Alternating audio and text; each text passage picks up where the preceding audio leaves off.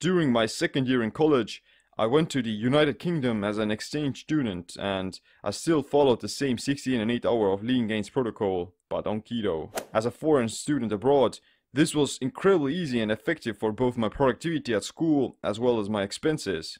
Eating keto is actually super cheap and you can improve both your physical as well as mental performance. You don't need any fancy supplements and the best foods are actually the cheapest ones. On average, my daily budget for food was like 3 to 5 pounds, which is freaking low and incredibly sustainable. You don't want to be eating all the random foods they're trying to sell you at supermarkets anyway, because first of all, they're not healthy, second of all, they're more expensive, third, they give you fewer nutrients which makes you eat more of them, and fourth, you'll have more cognitive power to focus on school. The best diet for your health, cognition, finance, as well as sanity is a very minimalistic diet with all the essential fatty acids and amino acids. You don't need to eat all the colorful fruit and vegetables because first, they're not required for your body to survive. Second, they're more expensive.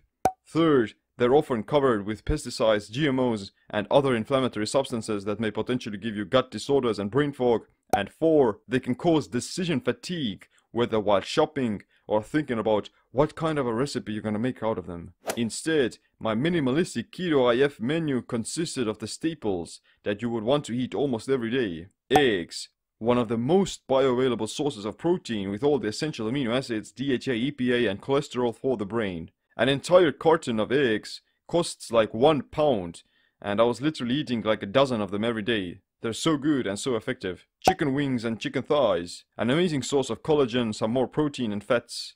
It has amino acids like glycine and tryptophan, which are great for the skin and neurotransmitter balance. I was getting these frozen chicken thighs and chicken wings, which are like three times cheaper than chicken breasts. At the same time, the chicken thighs are like two times more nutritious. We live in such a crazy world.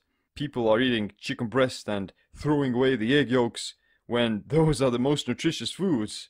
You can't do much with just pure protein, you need the fats as well. It's crazy to think about how much food and money gets wasted because people think they're being healthier by avoiding these full fat foods. Whereas in reality they would be healthier and they would have better body composition results because of that as well. The egg is the symbol of the soul. Did you know that? But moving on with canned sardines and salmon, I was still trying to eat some fish at least two to three times a week because I wanted to get the healthy omega-3s and DHA for the brain. Instead of buying expensive salmon fillet or something like that, I bought sardines canned in brine or olive oil. That's another cheap hack for saving money while still eating healthy food. The same with meat. I bought large bags of frozen meat in bulk so it would be cheaper. You literally just have to search for the cheapest bone broth bones and pork chops. They have a much better macronutrient profile again, for keto especially, and they're much healthier while at the same time saving you money. Such a crazy world.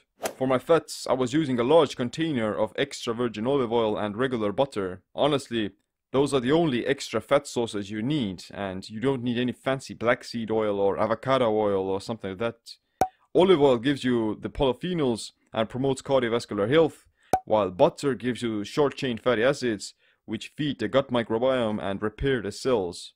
I can't believe! For my carbs, I was eating regular green cabbage, frozen spinach, some broccoli and cauliflower. I also ate some onions and garlic for the prebiotics and that's all I wanted.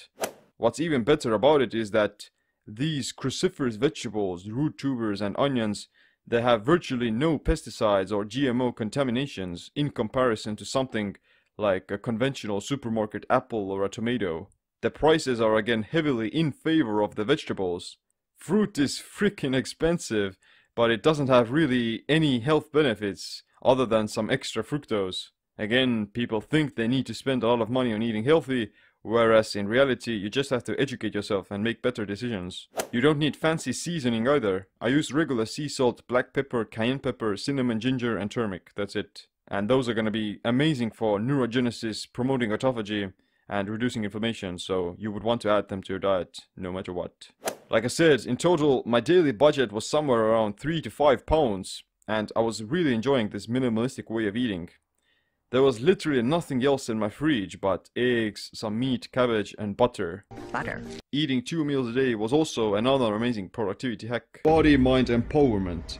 Get stronger, faster, smarter, quicker, friendlier, more helpful, more driven. Everything the body needs. Control your mind.